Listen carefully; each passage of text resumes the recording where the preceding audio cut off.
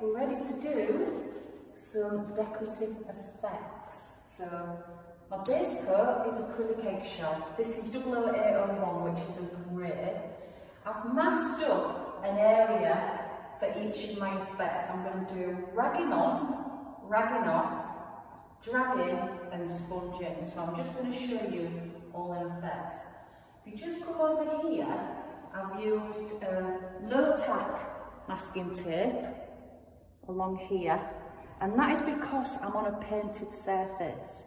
If I was to use the standard masking tape like this, it's a bit too sticky, so it would pull the face of the paint off. So we don't want to do that. So that's all masked off ready, just so I can do these demonstrations for you. So we're using Scumble Acrylic Glaze. That is our base coat. And acrylic, as you remember, is water-based. So once it's mixed with the pigments, like this, they become scumble. But for some reason on this it says original scumble, but it's not scumble until you've actually put pigment in.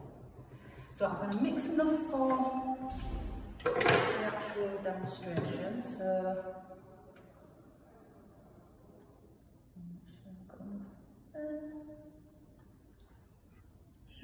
nicely, it goes quite far. I'm working over a radiator at the moment, so I'm kind of conscious of the fact that it might dry a bit quicker. So, but I'm going to do the demonstration quite quick. What I will be doing though, if I was doing this in sort of a, a proper setting, um, and I wanted it to dry quick, then what I'd do is I would add glycerine. So what I'm doing here is I'm adding blue and red. You're okay to walk past? Got a delivery. Um, just need something for it. Us? It's chocolate sugar inside, I don't know if it's you guys or is everything down at that end? They're in 111. So I've got my acrylic, sorry. So I've got my acrylic glaze in here. Let me take a look at that. That's my glaze. Now, it, it is sort of transparent rather than translucent. Okay, when it's on the surface, you can see straight through it. What I'm going to do is I'm going to mix red and blue, and hopefully you all know what colours you get when you mix red and blue. That's right, purple. Purple. So I'm going to have a good dollop of this red. And a good dollop of this blue. Now these are universal pigments. That means they go in either oil or water-based scumbles, glazes, whatever you want to call them. So I'm going to give that a mix. Ooh, lemon dark. Beautiful. That's a dark, dark purple. Maybe I should have gone a bit lighter. Let's see what that would look like if it was on a white surface. Hey you guys! How you doing? So what I've got here, it looks really dark in the kettle, but it's actually a really nice purple. Okay, you can just see I've just rubbed it on the side of there and you can see the purple colour and that's what I was going for. Okay, so the first one I'll do, I'll do ragging off. So what I've got to do there is I've got to pour some of my glaze into my tray. Don't need loads for this, there's going to be plenty. I've made absolutely loads. And I'm going to do, because I don't have anywhere, oh I do actually, I have a little bit of cutting in to do at the top. Never mind, I'll roll up to it. Get my flock roller. Oh, this is a flock roller. This is sponge inside and it's flock coated. And the reason you use a flock roller is so that you don't get bits of the glaze. You know what I'm going to do? Is I'm just going to roll this onto the area. Just going slightly over my masking tape here. And because I've pressed it down at the edges, I should get a really nice crisp edge. If I hadn't pressed down at the edges, I'd get what's called creep. And that's where the paint seeps under the edge of the masking tape. And then what happens, you don't get a nice straight line, you get like a wiggly line. Wiggly, wiggly. What I'm doing here, I'm just going to put it on as even as I can to start off with.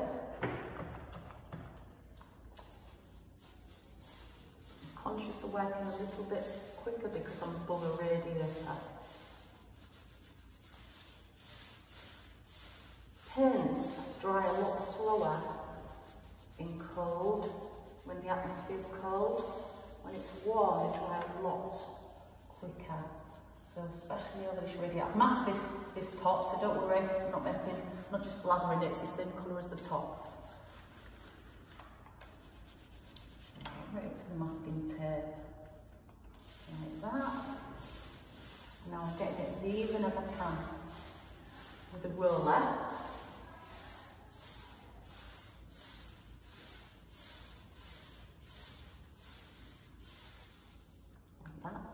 then, because I want to get it evener still, I'm going to stipple it with this block stipple. And that is basically just like that on the surface. You're taking out roller marks. So we're just tapping it on the surface, getting rid of them roller marks.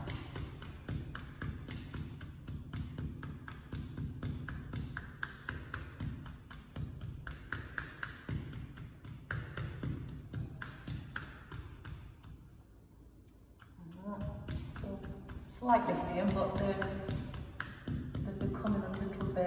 less noticeable.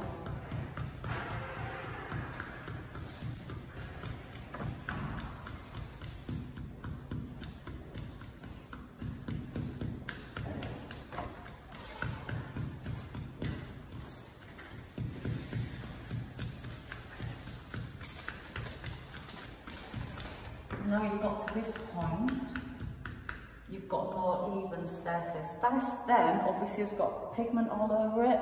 So this, because we're using a water-based glaze, it needs washing in just a soapy solution. If you just try and wash it in water, the pigment won't come out the bristles. So just make sure that you wash it all out so there's no pigment left in there. So I'm just going to leave that there. Right, now this is the ragging off method. What you need is a lint-free cloth. Now your lint-free cloth wants to be damp. So I've put this in some cold water and I'm just going to squeeze it out as dry as I can. Right. This cloth, because it's lint-free, it doesn't have fibres, it don't give off bits.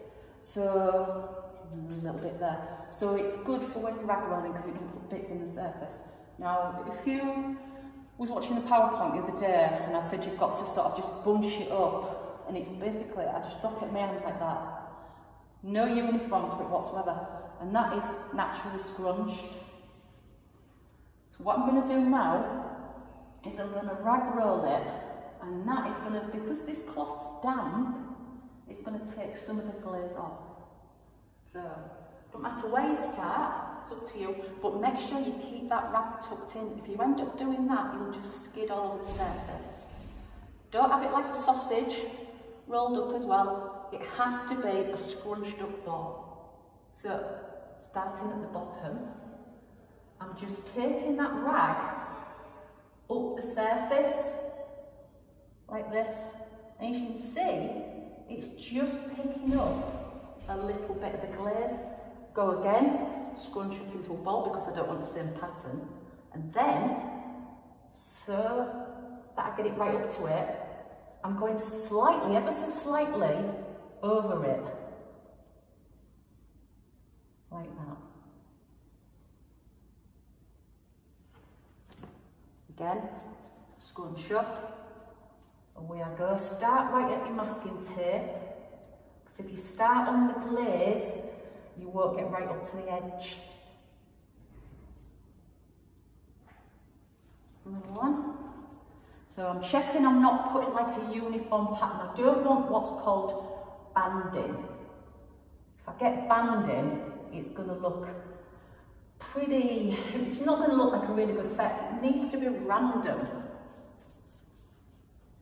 again.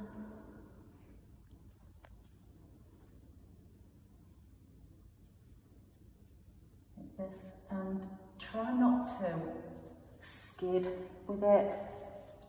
But you do know that it's got a long open time. Not so much over this radiator, but it's relatively long open, open time, and that means a glaze doesn't really dry that quick. And if I decided it was going to dry too quick, I could add some glycerine. And glycerine will extend the working time. And what I'll do at the end is, when I've done the full panel, I will check for any areas that I think need a little bit more on. Could be near the masking tape, at the top, at the side.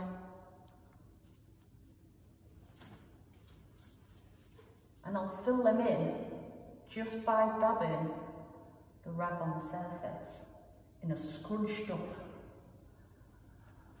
ball. Don't want any of you to rush with this. Just take your time. You'll say it's got a long open time. You won't be working above a radiator. You'll be doing this either on your panel outside your cubicle or in an area masked up in your cubicle. So don't feel like you've got to rush it. And if you do make a mistake, you can basically just roll back over it and you can stick it again. Now, that bit there, I feel it needs a bit there. That.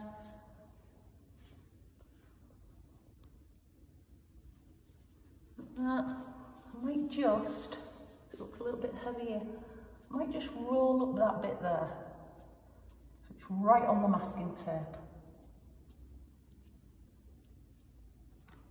And that there is, let me just stand back and take a look at it.